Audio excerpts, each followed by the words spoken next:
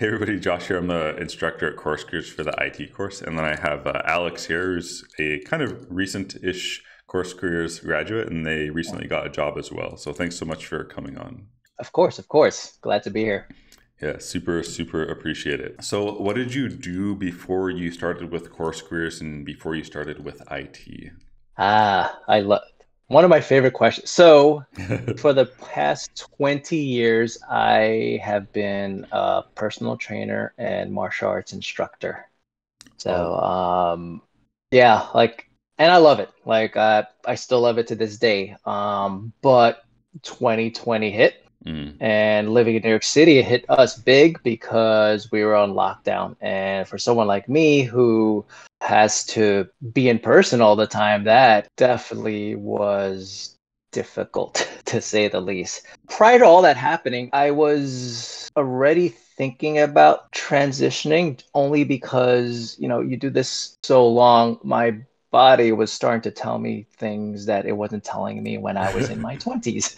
so gotcha. at some point I, I told myself I'm I told myself if you know I'd rather be preemptive and start thinking about a career change rather than almost being forced out either due to injury or anything. So I, oh, I don't man. I don't operate that way. I always kind of think a couple steps in advance. So it was around that time I decided, you know, let me enroll in a in a boot camp. So in 2021, I enrolled uh, at a boot camp. It was a part-time accelerated, did three stacks Python, Java, and JavaScript. Mm-hmm. And in that time, yeah, I, I loved it. I also realized, at least for someone like me, I realized there was still more I wanted to learn, not just mm. like to also know the, the, the why and somehow the all the the house and all all that stuff behind it. So it wasn't till maybe a month prior to graduation I started looking into you know where can I possibly pursue a degree in this,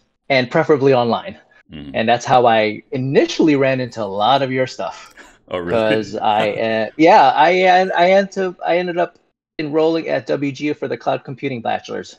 Oh yeah. So yeah, that yeah. I'm, I'm in that right now. So like I love a lot of your strategies and just I, I like that everything's structured so I, I work really well when there's there's plans so mm. uh, I, I did that and you know i wasn't really actively looking for positions yet and then i guess around november of 2022 is when i decided you know now it's time to start now i'm ready to start throwing my resume out there mm. seeing where i get any bites I think I guess on your YouTube is when the whole course careers IT thing came out, mm-hmm. and I looked at that and because you know WGU you, you know this like like their first couple classes is basically IT versus like until you get into like the actual class of like so A plus and you know Net plus and Security plus. So uh your course I mean I remember looking at it and saying oh good there here here's another something else I could do that where I could actually apply stuff. So like mm-hmm. I think the, the hard part with a lot of the WGU stuff, I, and you probably know, is that it's very it's all theoretical. Like it's like even their labs are alright, but you mm-hmm. your your your stuff was just you know, I I can't believe in like a month I'm like I'm very well aware of how to you know use Azure and use a virtual machine and Active Directory and a help desk ticketing system all in a matter like I sped through your like I, I was one of those it was I just kept going until I was done. So in December I think I when I rolled I finished that whole the entire thing in like three weeks or something. Oh wow. like, that's how into it I was. I I was putting that stuff on GitHub and um what I think the most actually mm-hmm. was actually your interview section. Oh, really? So like for yeah, so like I mean for where where I applied to uh, Axon, it, it was it was pretty thorough interview process and stars up like you know star interview up the like it was every question was some version of a star. It was, oh, so oh, really? Uh, really, really, okay. It, like like I kid you not, like there was just so it was it really was that. Uh, and you know you know it doesn't feel like it and then you recognize i'm like oh this is a star question i was like okay mm. this is probably what they're looking at so oh nice uh yeah that's that's cool that's good to hear and by the way you're like the first person to mention um, the star interview questions like out of everyone yeah. i've interviewed and talked to like so i'm glad to i'm glad to hear that someone used it so and so um, you said it took you about three weeks to get through the whole course, or like just the lab section, or like I guess how long did it take you to get the whole damn thing? I blew through the whole thing, and then I took I did the whole thing, took the exam. I remember telling my wife, I was like, I'm gonna, I, I, I feel very confident with this. Yeah, let me just take it right now. And I, you know, I I blew through all that. It, I did when I get to for me when I get really hyper focused, especially when there's these these goals. So your your your course, like I already knew that you know I needed to finish this also before like you know the, the Christmas break and New Year's break. So I was very determined to mm. just nail this slow. Like you know I watched it. I watched on two times speed, and I I typed it. I was like, let's see if I can do it again, and then without looking at it. And I said, you know what, now I'm ready. And mm. I I just bulldozed through that thing. It, it was not easy. I mean, it's definitely not easy. Like, it, there's a lot of material, yeah. but I guess coming from a coding boot camp, I'm already used to that much information. The boot camp definitely allowed me to know what it feels like to just have yeah, yeah. a task after task after task, and you need to, you know, just keep keep pushing. So that you know that was why I think I was successful at least with the course careers. It just I had a, a head start, I guess, with with some of that stuff. Yeah, coding coding bootcamp is not easy. There's like a lot to digest, especially if you're new to coding. So that's it's cool that you have yeah. that going in, honestly. And then from the the time you finished the course to the time you actually got your job, um, do you know how long that was about? Let's see, November I started applying. December I was still applying. I was still applying and you know December nothing. Come January, like I prior to accepting this uh, offer, I was already asked to move to the final rounds of two other places. So it, oh, it went shit. from like zero to like yeah yeah. So that's where it went. So like I had to email them and said you know I could no longer move forward. Process. I just accepted the offer. So that's how quick it went from like zero to like oh crap. And now you know I'm starting to change my LinkedIn so that you know I'm not putting the the looking for work. So like I don't, you know, I just want people to know that I'm good now. But yeah, like uh yeah, yeah, this month I had to tell I had to I had to finally reject two other places. So which finally felt good after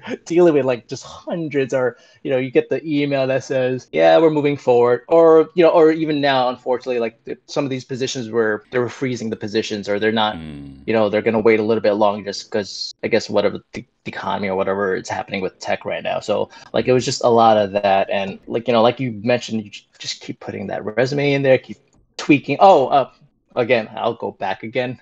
Mm-hmm. Let me step back. I had no idea about an applicant tracking system. Last time I was giving resumes, I was giving the resumes. So that was me applying the job. There wasn't having to send it through, you know, something like LinkedIn. So when I got to that section on the resume building, I, as soon as I found out about an applicant tracking system, I redid a lot of my resume based on a lot of your suggestions. And and that's when it started biting a little more.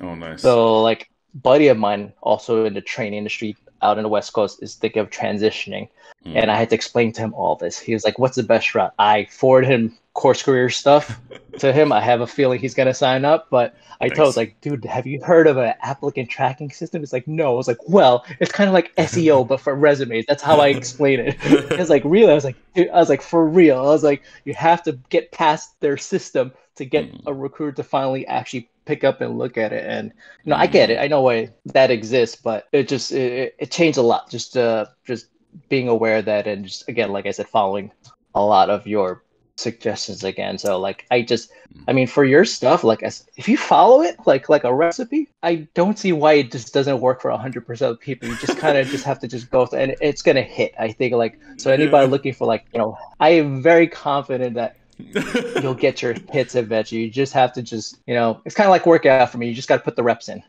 I the amount of recommendations I've given for your course and, tell, and telling people just look at these guys. They they they have it down. It's it's just one of those things you can follow directly. Just do exactly what they say, and, and, you'll be good. So.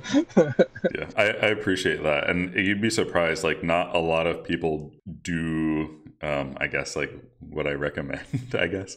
Yeah. Um, but yeah, I, I, I, agree. If if people just like took the course and just did everything exactly, I'm sure they would like see some kind of success. But yeah, I yeah. I think so. Like I think so. I mean, like you know, I mean, I'm someone you know, I'm not in my 20s anymore. If I could transition careers after you know, at my age and do all this stuff. I don't see how. I feel like this is like one of those, you know, you do this, you'll you'll you'll definitely get that job out of college. Like it, it's just I don't know. I can't. I don't have any other words other than to say that this is almost guaranteed to get you some version of work, some way, shape, or form. Yeah. Are you are you allowed to give like a, a ballpark of your salary, like how much you started well, at? I could get. Well, I I'll definitely give what was on the job description. They the the range was from eighty thousand in their lowest geographic market to one hundred twenty thousand in their highest geographic market. Damn. So I'm definitely not on the low end. I'm definitely not on the ultimate high end. So that should say enough about you know busting into tech and you know that, that, kind of salary. So I was like my jaw dropped. But but yeah, so I mean that's I, how they determine. I don't know, but but that is what was other job description on their end for software support. So oh, okay. it, it, was pretty sick. Pretty yeah, sick. That, so yeah, that's okay. very cool. Congrats on that, by the way. Okay. That's really good. Yeah, thank you, thank you, thank you. Yep. Yeah. and was there like was there any part of the course like if somebody's somebody's watching this and they're like, "Well, maybe I'll take course careers."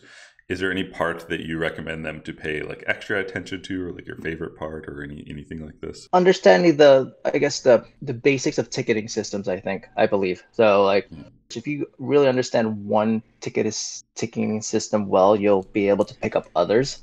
Uh, so yeah. definitely just knowing that a ticketing system in some places, I'm sure you'll be gauged on how quickly you answer. There's gonna be a metric for how many tickets you have to sol- or solve or have to answer within your position. But just just really understand the inner workings of it, so that I guess should you go to a company where they do training, it'll just be easier to pick up. And then the other the other part the, the interview section like if you're going for these types of positions then that interview section of yours the tech part and uh, thank god i didn't really have too much of a uh, like tech questions for the interview, but definitely the, the behavioral the, the interview section is definitely uh, I think where people might easily gloss over because mm-hmm. it's, it's very easy to focus on just knowing the the, te- the the skills part versus just now you kind of have to sell yourself to the person you're that's mm. potentially hiring you so i mean i am prior to all this i still was i'm not the best interviewer just because it's been so long i could say now that i feel a lot better with my interview skills than when i than prior to learning about some of that with your videos but i mm. you know knowing how to come up with really clear, concise answers. I I know one of my weaknesses tends to either if I'm nervous or too excited, I tend to be very wordy. So I'm working on just being very direct, just like I said. It, it does take practice. You almost have to like stand in front of a mirror and just like talk it out and and just yeah. practice it. You know, I would say the the ticketing systems definitely and the interview sections are going to be pretty important. so, gotcha, gotcha. Yeah, like in interviewing, yeah. it's really easy to underestimate how hard it is to interview because you have to mentally like juggle so many things and you don't really realize it's happening in the interview you just like get out of the interview and you're like what happened but like you said it's good to practice beforehand yeah. so when you actually go to the interview your mind is like at least somewhat clear and you can you know be concise and all yeah i mean for me some of the things that helped me out, you definitely have more time than you think in your head. You feel like sometimes you have to answer fast, mm-hmm. and it really is that's your brain thinking there's not enough time, and you really have a lot of time. So really, just pausing and thinking and then speaking will be a game changer for a lot. I had to learn that you know I definitely did have more time than I thought in my head. Yeah. Uh, and for someone like me, I think when I was doing the interviews, because uh, a client of mine suggested, you know, when you interview, are you sitting or are you standing? I said, I'm sitting. It's like, well, then why don't you try standing in your next interviews? And for me, who is a trainer and teaches martial arts, that was clutch for me. It, it just made me feel like I was in my element standing. So, like, mm-hmm. just because it's a, I guess it's a posture I'm very familiar with. Mm-hmm. So, like, like, so that, you know, that definitely helped and pausing but and just practicing. So like that was you know that was my that would be i guess my advice to other people who are getting ready for some of these interviews. Like just you know find a, a posture or something where you feel that you're feels natural in, and then everything else kind of feels natural after that. But if you're someone who sits a lot tries to do it standing it's probably not going to happen and vice versa. And then right. you know take your time know that you have a lot of time and and just you know think about the question a little bit, there's nothing wrong with saying, you know, like I think you mentioned this. There's nothing wrong with saying, let me think about that for a second. Yeah. Just pausing a little bit yeah. and then spitting out your answer. So that that all like all like I said, I went through your stuff. I remember all this. So that's I mean, it really is. I just practice exactly what you said. Shoot. I'm glad. I'm glad. Uh, I'm glad it, it, it, worked out. You you put in a lot of work. Uh, not only like Course Careers, you did a lot of stuff, and then I you, you know, congratulations on your like awesome new thank, career. Thank you, thank you. Yeah, that was very cool. And then for this is not necessarily course careers related. Just like anyone who is trying to get into IT, as someone who is recently very successful. Do you have any kind of final general advice for those people? It's very easy to get distracted with all the things you think you have to potentially learn. Uh, just like I said, you do have mm. a lot of time to really absorb this stuff. You don't have to like, like for be like example, you know, when I was going through something like coding dojo, I was like, oh, I'm learning Python. I was like, wait a minute, there's Flask. Oh, there's also Django. Wait, oh, there's also this. Like maybe I should be learning that too. Like just stay focused, focus on the basics and fundamentals, and it definitely carries you for it. And I, from my experience, I, I mean, I guess the only reason I do say that is because as a trainer, it's also easy to get distracted by all the fun, cool exercises. Mm-hmm. And then when they come to me, I was like, no, we focus on the things that work. So a lot, and a lot of it is basics, and then it carries you forward. So for other people out there that are trying to transition in, definitely just focus on one thing first. And mm-hmm. then try to filter out a lot of the noise. It's very easy to. You might hear somebody is like, "Oh, I did this and this, and this is why I got to that." Don't just stay focused and then just keep it keep it simple. It will go a long way uh, for a lot of individuals, I believe. Uh, cool, thanks for that. And then this is like not related, but what what martial arts did you train? Can I ask? Oh, I teach and train uh, the broad term is Filipino martial arts, so you could either hear it as Kali or Arnis or Eskrima. It's very much related to arts like Silat, if you've seen it. So, I mean, I how I like to explain to people, if you've seen any of the Bourne Identities, what Matt Damon does is some version of Filipino martial arts, where you find whatever's in your hand and you know you have to turn it into a useful weapon or oh, def- gotcha. self-defense tool. So that that's oh, what. I teach. So, that's, yeah, that's, yeah. that's dope. it's pretty dope, dude. Like, it, I, I love it. I love it. Like, I love everything about it. So, cool, cool, cool. Yeah, thank you so much for this. I'm sure you know a lot of people are going to find it really interesting and helpful and useful. So, yeah, thank thanks again. Of course, thank you for having me.